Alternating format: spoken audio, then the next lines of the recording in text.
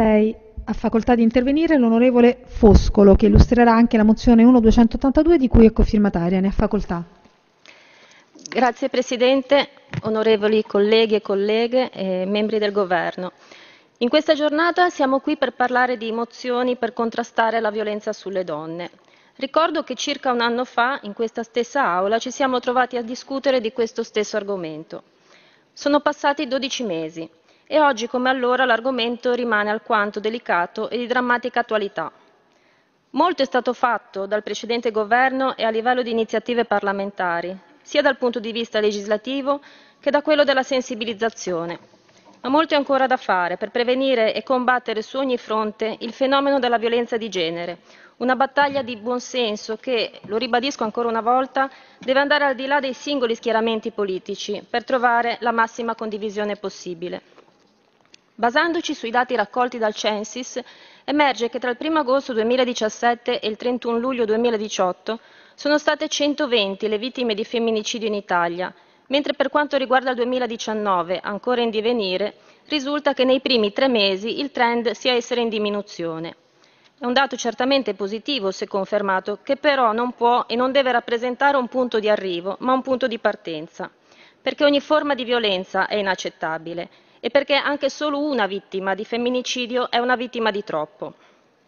L'obiettivo deve essere quello di arrivare all'azzeramento del fenomeno, preoccupante, inquietante, spesso purtroppo difficile da quantificare, non solo con le mozioni approvate da quest'Aula, sicuramente utili, ma anche e soprattutto con azioni efficaci e concrete in materia di prevenzione e di contrasto a 360 gradi.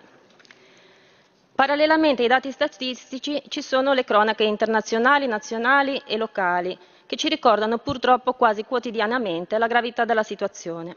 Basta leggere ogni giorno un quotidiano, guardare un telegiornale, ascoltare un notiziario o scorrere i portali online per rendersene conto, e questo su ogni territorio. Come ricordavo lo scorso anno, anche la mia stessa comunità, il comune di Pietra Ligure, ha testimoniato il drammatico caso dell'omicidio di Janira D'Amato, ventunenne uccisa a coltellate dall'ex fidanzato. Una giovane vita spezzata da un tragico delitto. E sempre Pietra Ligure, pochi anni prima, aveva assistito all'omicidio di un'altra donna, Alba Varisto, un'infermiera massacrata a calci e pugni da convivente, che l'ha poi vegliata per 48 ore e le ha inciso una croce sul petto con un coltello. Boissano, sempre nella mia provincia, esattamente un anno fa, a novembre, Roxana Karin Zenteno è stata soffocata nel sonno dal marito, mentre in casa si trovavano anche i due figli minori di 10 e 12 anni. E ancora, pochi mesi fa, a luglio, a Savona, un'altra vita portata via, quella di Deborah Ballesio, uccisa dall'ex marito a colpi di pistola durante una serata in un karaoke, una sparatoria in cui sono rimaste ferite altre due donne e una bambina di tre anni.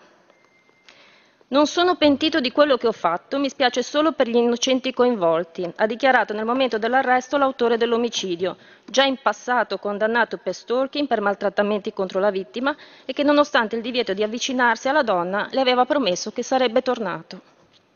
Ed è purtroppo ancora lungo l'elenco delle donne maltrattate e uccise da chi diceva di amarle. Notizie come queste sono agghiaccianti, non possono lasciarci indifferenti, anzi devono spronare tutti noi a intensificare gli sforzi per combattere la violenza di genere, senza se, senza ma e senza sconti. Lo affermo da donna, da privata cittadina, da rappresentante delle istituzioni. Oggi, come un anno fa, c'è bisogno di un impegno collettivo per fare sì che episodi di questo genere non accadano mai più. Serve un'attenzione particolare e opera di prevenzione verso un fenomeno che va sì studiato, ma soprattutto affrontato e arginato, dotando i soggetti coinvolti di strumenti efficaci, idonei e adeguati per il contrasto e la repressione del fenomeno. Per fortuna qualcosa sta iniziando a cambiare. Lo scorso 19 luglio, infatti, questo Parlamento ha dato la propria approvazione alla legge cosiddetta Codice Rosso, fortemente voluta e condivisa dalla Lega, da Matteo Salvini, dall'allora ministro Giulia Bongiorno. Una promessa mantenuta, un importante risultato nella lotta alla violenza contro le donne, un passo in avanti storico che introduce novità decisive per porre un argine come gli incrementi nelle pene per la violenza sessuale, lo stalking, la violenza domestica, perché è importante evidenziare che nella maggior parte dei casi chi si macchia di tale crimine è un familiare, un marito, un convivente, un fidanzato. Grazie al codice rosso la specializzazione del personale delle forze dell'ordine punta a garantire una, una, risposta professionale adeguata alle specificità proprie delle indagini, con l'obiettivo di avere una maggiore uniformità delle capacità di reazione delle denunce. Il provvedimento, che abbiamo sostenuto con orgoglio e convinzione, punta ad accorciare le distanze tra la giustizia e le donne maltrattate e a reprimere più efficacemente il fenomeno della violenza sulle donne. Sono stati fatti molti passi in avanti negli ultimi anni nel nostro Paese. Il Codice Rosso è stato un provvedimento di importanza fondamentale in questo percorso. Ci sono tuttavia ancora tanti importanti ulteriori sforzi da fare. Bisogna intervenire aumentando la consapevolezza delle donne sui loro diritti, i rimedi a disposizione, fornire alle forze in campo strumenti efficaci per proteggere le donne che hanno il coraggio di denunciare.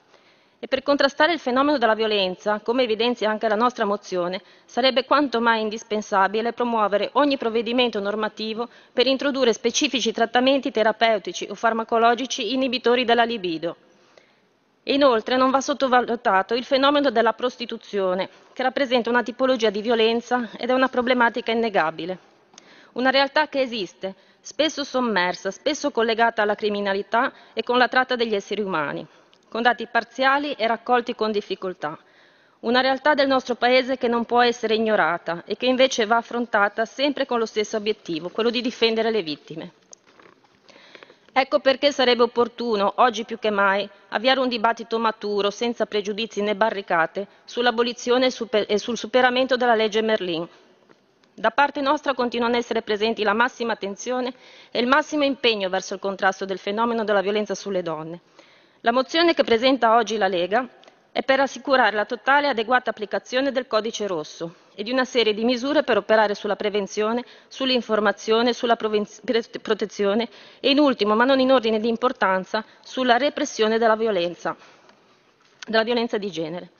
È per questo che nella nostra mozione chiediamo al Governo alcuni impegni, ad esempio prevedere corsi di formazione per la Polizia di Stato, per l'Arma dei Carabinieri, per il Corpo di Polizia Penitenziaria, al fine di prevenire e perseguire i reati indicati nella legge appunto del Codice Rosso.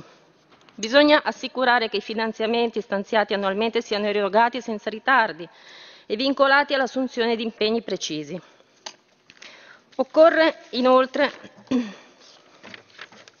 aggiornare la mappatura dei centri antiviolenza, del Dipartimento per le pari opportunità, secondo la reportistica ricevuta da regioni e province autonome, anche al fine di stimare il fabbisogno reale dei centri antiviolenza per la loro sopravvivenza e il loro adeguato funzionamento, informando di conseguenza circa lo stanziamento necessario per assicurare servizi adeguati su tutto il territorio. Chiediamo al Governo anche impegno, di impegnarsi ad assumere iniziative per incoraggiare il settore privato, il settore delle tecnologie dell'informazione e della comunicazione, i mass media, nel rispetto della loro indipendenza e libertà di espressione, a partecipare all'elaborazione e all'attuazione di politiche e alla definizione di linee guida e di norme di autoregolamentazione per prevenire la violenza contro le donne e rafforzare il rispetto della loro dignità, anche promuovendo una comunicazione improntata al pieno rispetto della dignità culturale e professionale delle donne e vietando forme di comunicazione che possano indurre una fuorviante percezione dell'immagine femminile.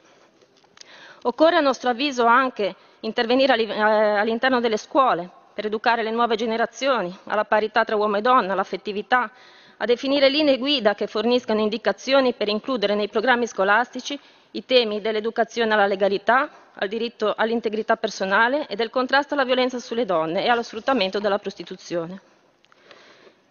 Bisogna inoltre prevedere percorsi specifici in carcere per gli autori di reati di violenza sessuale sulle donne e di sfruttamento della prostituzione, inclusi interventi sulla normativa che disciplina l'ordinamento penitenziario volti a rendere obbligatoria per i detenuti per reati contro le donne la destinazione di una percentuale del reddito generato dal lavoro in favore del risarcimento delle vittime.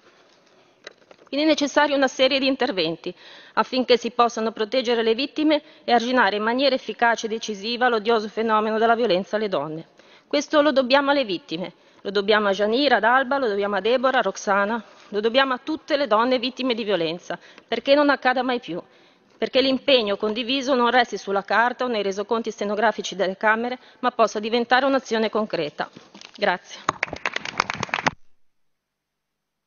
Grazie a lei. È iscritta a parlare l'onorevole Ascari. Ne ha facoltà.